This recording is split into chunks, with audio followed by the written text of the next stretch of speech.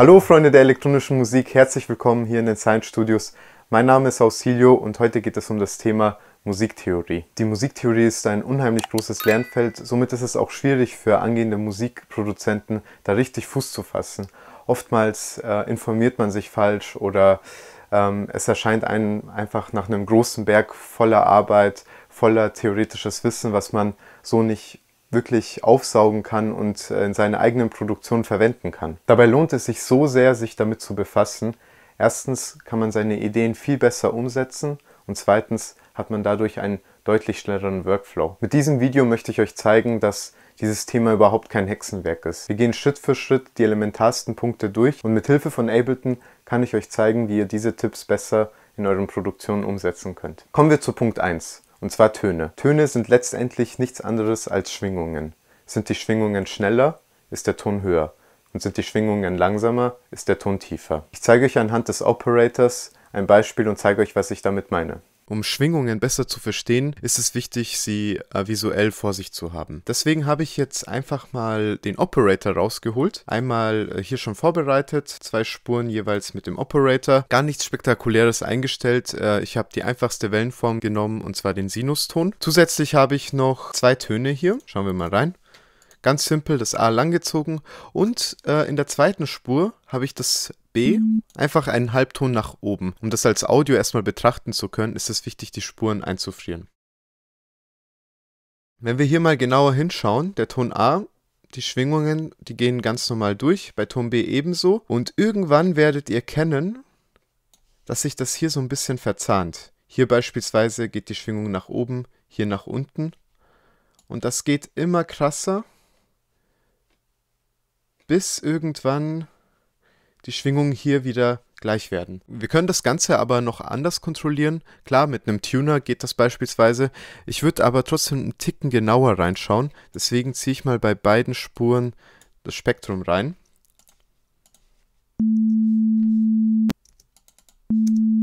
Wir gehen jetzt erstmal mit der Maus zum höchsten Ausschlag und haben hier das A, das ist bei ca. 220 Hertz und das B hier circa bei 230, 233. Wenn wir jetzt dieses A hier beispielsweise mal eine Oktave höher machen und verschiebe das um 12 Halbtöne, dann bekommen wir eine Oktave. Wenn wir da nochmal auf dem Spektrum gehen, dann sind wir ungefähr bei 440 Hertz. Das heißt, wenn wir denselben Ton eine Oktave höher machen, dann verdoppelt sich die Herzanzahl. In der europäischen bzw. in der westlichen Popularmusik gibt es nur zwölf Töne. Und das Gute ist, jeder Ton hat seinen eigenen Namen. Hier habe ich jetzt erstmal zwölf Töne notiert. Dafür habe ich einfach ein Klavierplugin hergenommen.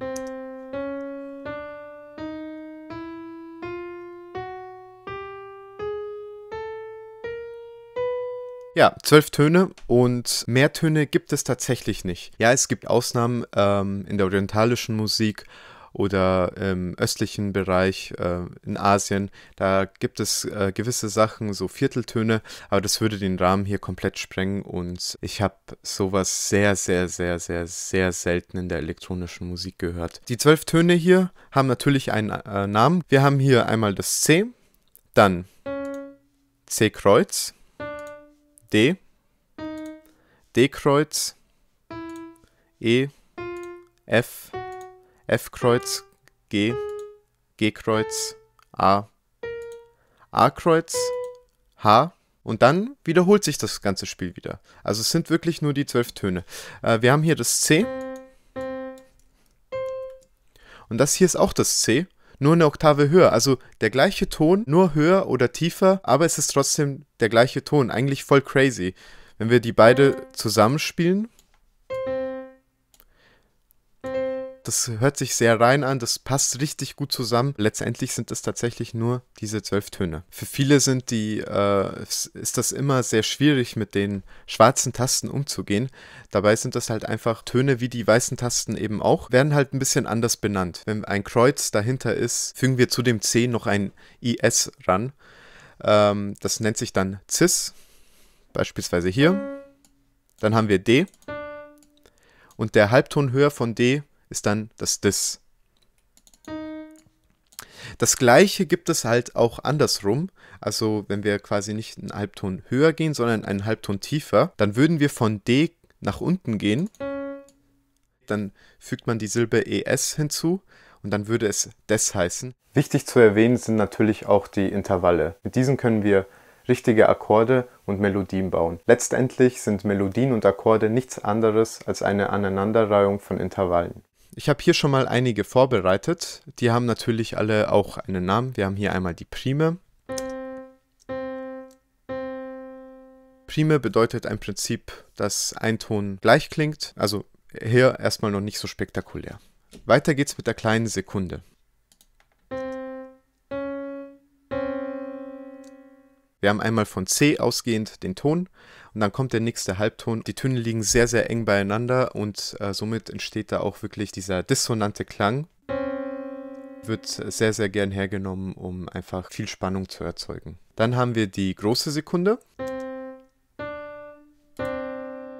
Der Abstand äh, von der großen Sekunde ist nicht so eng wie bei der kleinen Sekunde, aber trotzdem noch so eng, dass ein dissonanter Klang vorhanden ist. Dann haben wir noch die kleine Terz. Und hier fängt es schon mal an, wohlklingend zu sein. Dann haben wir die große Terz. Lasst uns nochmal den Vergleich genauer hören. Kleine Terz.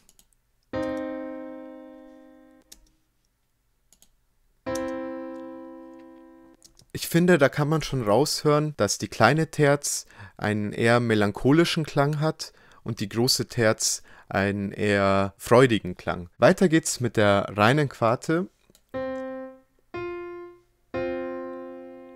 Für die Zuschauer hier, die jetzt äh, in einer Großstadt wohnen, äh, die hören dieses Intervall tagtäglich.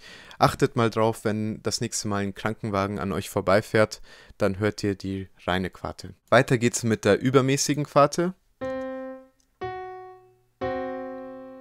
Die übermäßige Quarte ist sehr, sehr dissonant. Diesen Klangcharakter hört man äh, besonders oft in der Jazzmusik. Fun Fact, äh, falls ihr gerne Simpsons schaut, hört euch mal die Titelmelodie an. Die ersten zwei Töne beginnen mit diesem Intervall. Übermäßige Quarte.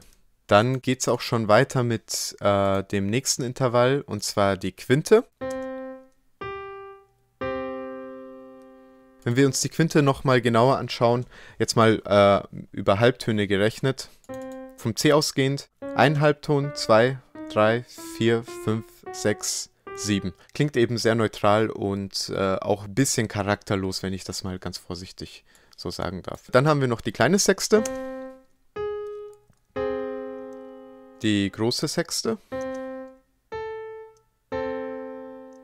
Beide Intervalle sind äh, wohlklingend und auch für harmonische Strukturen sehr, sehr wichtig. Dann wird es wieder ein bisschen dissonanter. Wir haben einmal die kleine Septime und die große Septime. Hören wir einmal rein.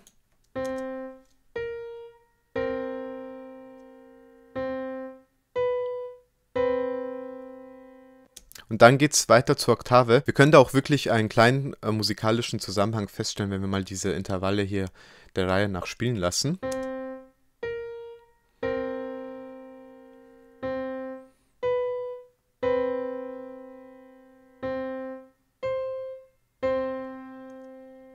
Ne, man könnte hier sagen, okay, die kleine Septime hat hier die Spannung, die wird dann durch die große Septime erweitert und dann wird die Spannung erlöst durch die Oktave. Die Oktave ist eben derselbe Ton, nur eine Oktave höher oder eben tiefer. Weiter geht es mit Tonarten und Skalen. Jedes Musikstück hat seine eigene Tonart. Und meistens besteht diese sogar nur aus sieben Tönen. Jede Tonart besitzt auch sein eigenes Tongeschlecht, Dur und Moll. Hier zeige ich euch einmal die C-Dur-Skala.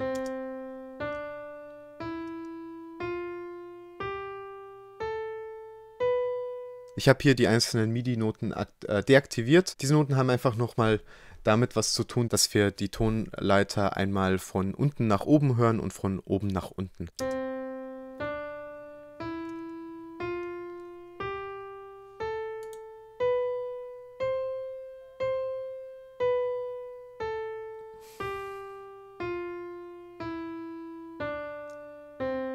Das ist sehr, sehr wichtig, dass wir als Musikproduzenten wissen, wie eine Durs- oder eine Moll-Skala aufgebaut wird. Wenn wir das erstmal wissen, dann können wir von jeder Tonart aus äh, eine Skala aufbauen. Und zwar von C-Dur ausgehend haben wir natürlich erstmal den Grundton, das C. Weiter geht's mit dem D.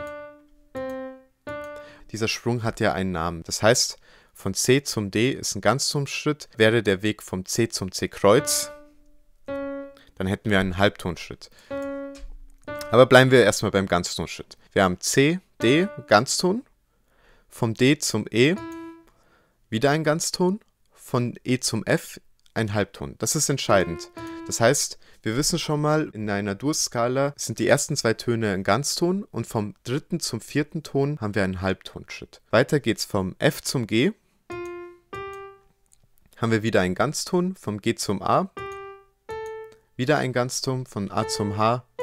Wieder ein Ganzton und dann zum Schluss eben der Leitton von H zum C ist wieder ein Halbton und äh, haben somit wieder das C erreicht, was wir eine Oktave tiefer hatten. Und diese Schritte müssen wir uns merken, damit wir beispielsweise auch eine andere Tonart ähm, richtig benennen können und richtig aufbauen können. Nehmen wir mal jetzt eine Tonart, die nicht vom C ausgehend ist, und zwar sagen wir mal F Kreuz Dur beziehungsweise Fis Dur. Somit fangen wir jetzt einmal beim Fis an. Vorhin habe ich gesagt, okay, vom ersten Ton zum zweiten Ton haben wir einen Ganztonschritt. Deswegen kein Halbton, sondern ein Ganzton, setze ich ihn hier. In dem Fall kommt das G-Kreuz raus. Vom zweiten Ton zum dritten Ton haben wir wieder einen Ganztonschritt. Okay, ab dem dritten Ton haben wir jetzt gelernt, kommt der Halbtonschritt. Deswegen nur einen Ton höher. Weiter geht's dann wieder mit einem Ganztonschritt. Vom fünften Ton zum sechsten Ton haben wir wieder einen Ganztonschritt. Und vom sechsten Ton zum siebten Ton haben wir wieder einen Ganztonschritt. Und vom siebten Ton zum achten Ton kommt wieder unser Halbtonschritt, der diese Tonleiter bzw. diese Skala beendet.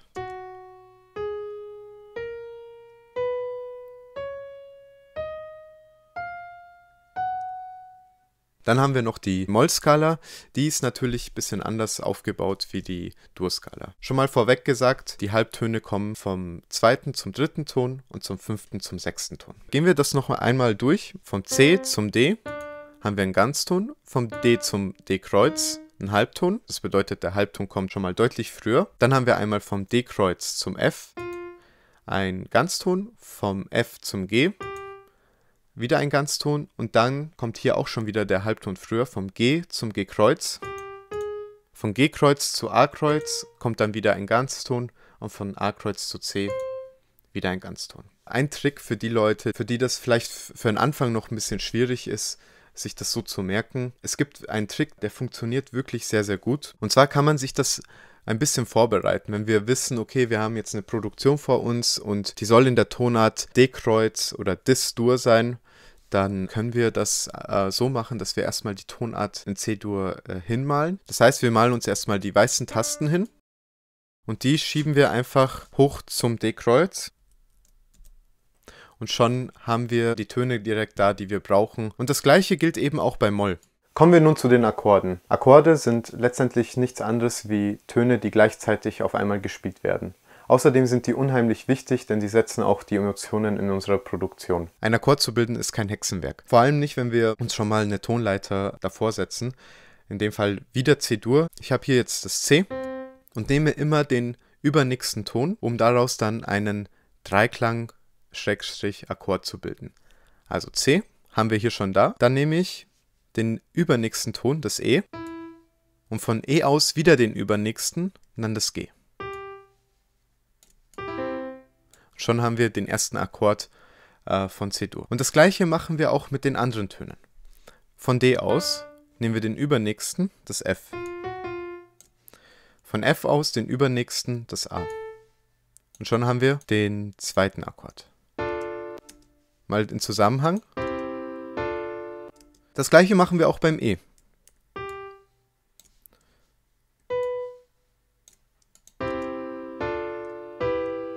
gleiche mit F. Ab dem G wird es jetzt ja nicht schwierig, aber wir sehen, dann wiederholt sich das Spiel wieder. Das heißt, wir nehmen dann das D. Oder wir zeichnen uns vorübergehend einfach nochmal hier die Töne ein, damit wir hier nicht durcheinander kommen.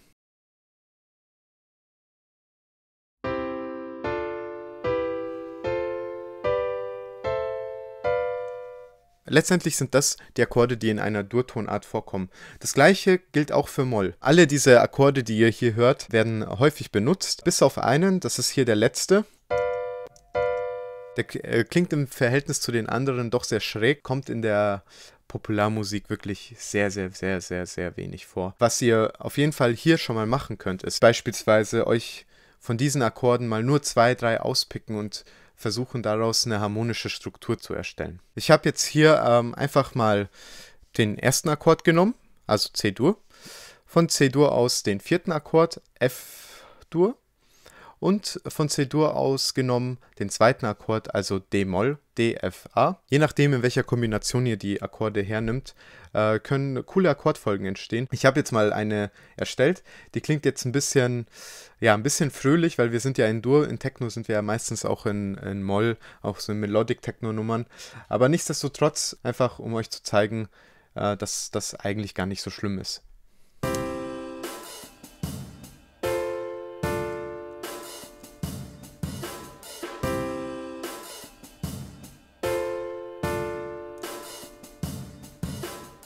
Natürlich ist es auch essentiell zu wissen, in welchem Tongeschlecht unser Akkord ist. Und zwar gibt es Dur, wir empfinden das meistens als fröhlich, und dann haben wir noch Moll.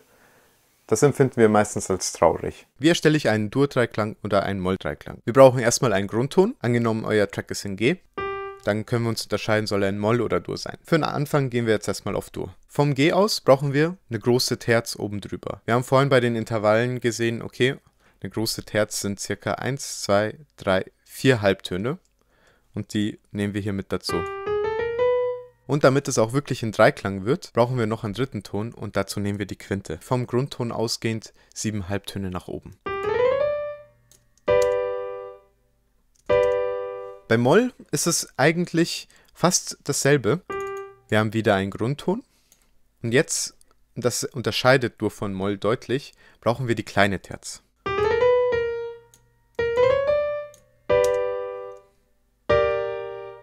Es ist wirklich nur ein Ton, der diese Charakteristik vollbringt. Erst die Terz entscheidet, welche Emotion der Akkord hat. Beispielsweise eben Dur, eher einen fröhlichen Charakter und Moll hat einen eher melancholischen Charakter. Man kann Akkorde, obwohl sie das gleiche Tonmaterial haben, unterschiedlich färben. Ich zeige euch mal hier ein Beispiel. Und zwar sind wir hier bei C-Dur. Ich male euch hier nochmal den Akkord hin. Das ist unser Ausgangsakkord und hier haben wir drei Akkorde. Alle drei Akkorde sind C-Dur. Der Unterschied dieser Akkorde ist nur, dass die Stellung anders ist.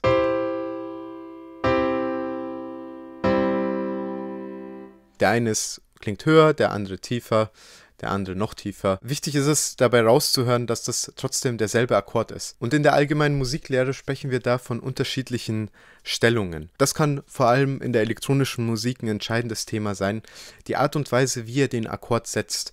Denn ich kann ja nicht nur die Stellungen so ändern, sondern ich kann ja den Akkord extrem färben. Nehmen man den Grundakkord und zwei bis drei Akkorde unserer ausgewählten Tonart, dann ist das meist schon die Grundlage, zumindest harmonisch betrachtet, für einen ganzen Song. Hier habe ich nochmal ein, klein, ein kleines Projekt mir kurz aufgebaut. Ja, man könnte sagen, ein kleines Step-by-Step-Guide. Die Kick ist auf A getuned, der Bass hat die Töne von A-Moll.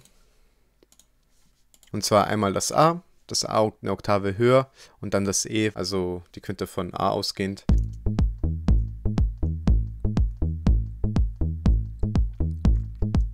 Der Bass bleibt so, damit das so ein bisschen tanzbarer, progressiver ist. Aber ich möchte ähm, Harmonien noch hinzufügen. Hier habe ich einmal so angefangen, dass ich die Töne von A-Moll aufgeschrieben habe. A, B, C, D, E, F, G, A. Dazu habe ich mir die Akkorde notiert. Ausgangspunkt war natürlich die A-Moll-Skala. Und dazu, wie ich es vorhin beschrieben habe, immer den übernächsten Ton des nächsten Akkordes hinzugefügt. Also A und dann AC. Dann haben wir schon mal den ersten Dreiklang, den zweiten und so weiter. Dann habe ich mich anschließend aus diesen Akkorden habe ich mich für vier entschieden. Und zwar ist das hier einmal das natürlich A-Moll, muss ja drin sein, damit wir auch wissen, okay, wir sind in A-Moll.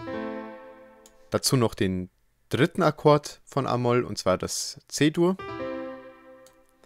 E-Moll und F-Dur. Gut, damit arbeite ich. Das kann ich deaktivieren. und fange an, mir schon mal so grundständig den Akkord aufzubauen. Dazu deaktiviere ich erstmal den restlichen Clip und höre mir erstmal das erste an.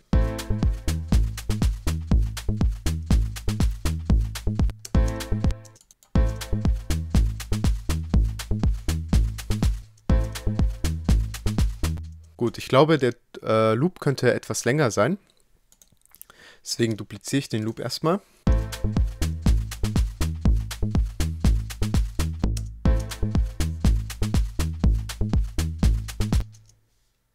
Jetzt wähle ich nach Gefühl mal einfach eins der Akkorde aus.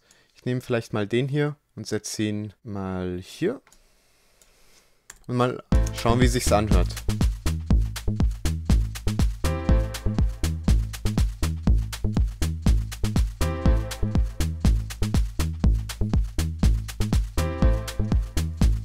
Ich habe gerade da äh, ja so ein bisschen was im Kopf, was ich jetzt umsetzen möchte. Und dazu brauche ich den hier. Und den hier brauche ich auf jeden Fall auch.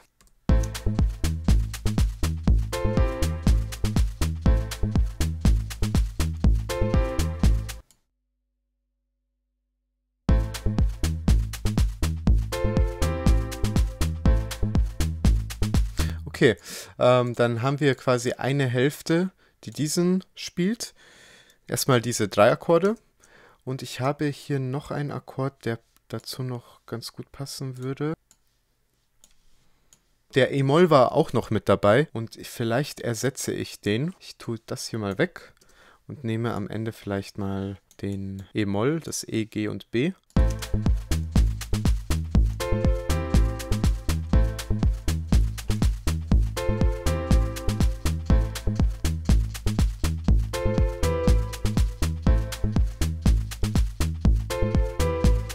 So, die Akkordfolge besteht quasi dann aus einer zusätzlichen Variation.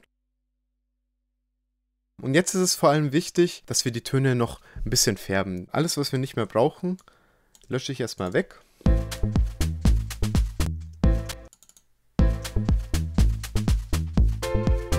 Dazu nehme ich hier noch die Grundtöne und verdoppel sie auch einmal in die Tiefe.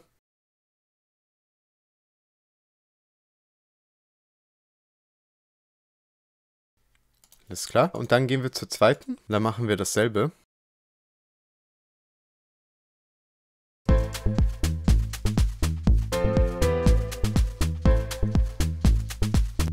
Das wäre hier schon mal ein anfängliches Gerüst. Jetzt können wir anfangen, dazu noch eine Melodie oben drauf zu legen. Bevor ich jetzt hier anfange, Töne zu setzen, gebe ich euch den Tipp, sucht euch aus A-Moll drei bis vier Töne aus und versucht mal selber auf dem Loop drauf zu improvisieren. Ihr habt damit auch nochmal die Möglichkeit, euren eigenen Sound zu finden und äh, vor allem macht es auch viel mehr Spaß beim Produzieren. Ich habe hier mein Keyboard.